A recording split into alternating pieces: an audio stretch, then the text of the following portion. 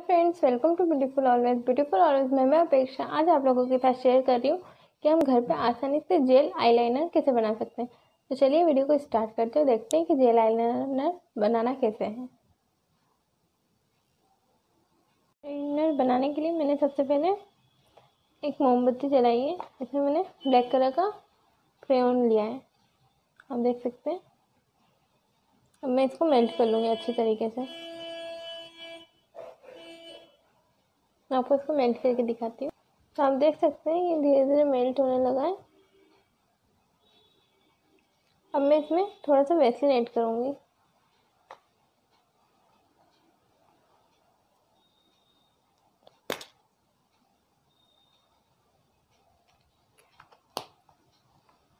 आप देख सकते हैं मैं इसमें थोड़ा सा वैसलिन ऐड कर रही हूँ।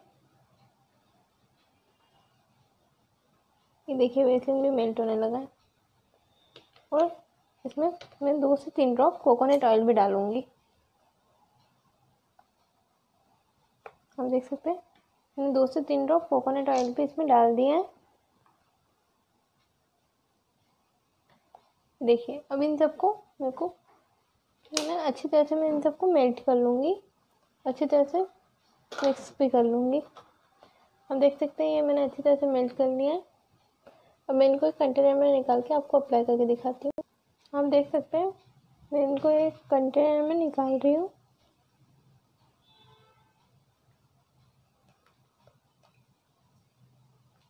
अब मैं इसको दो से तीन मिनट के लिए फ्रिज में सेट होने के लिए रख दूँगी, जिससे अच्छी तरह से सेट हो जाएगा।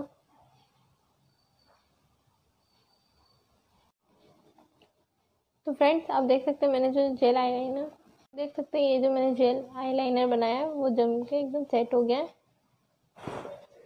अब मैं इसको आपको अपने फिंगर पर अप्लाई करके दिखा देती हूँ। ये देखिए। आप देख सकते हैं, ये आईलाइनर कितनी अच्छी तरह से अप्लाई हो रहा है, आप देख सकते हैं। ये देखिए मेरे हाथ पे। आप देख सकते हैं, कितनी अच्छी तरह से अप्लाई हो रहा है।